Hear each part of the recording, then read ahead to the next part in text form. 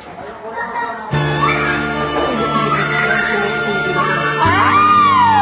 ba yan, Titi?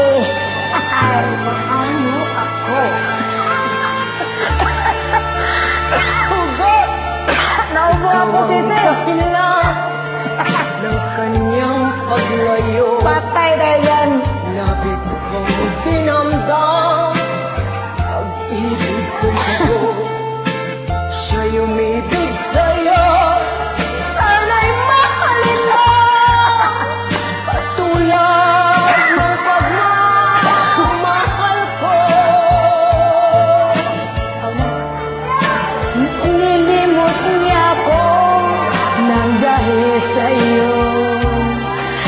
Dapat kong tanggapin sapagkat palad ko Ang kaligayahan niya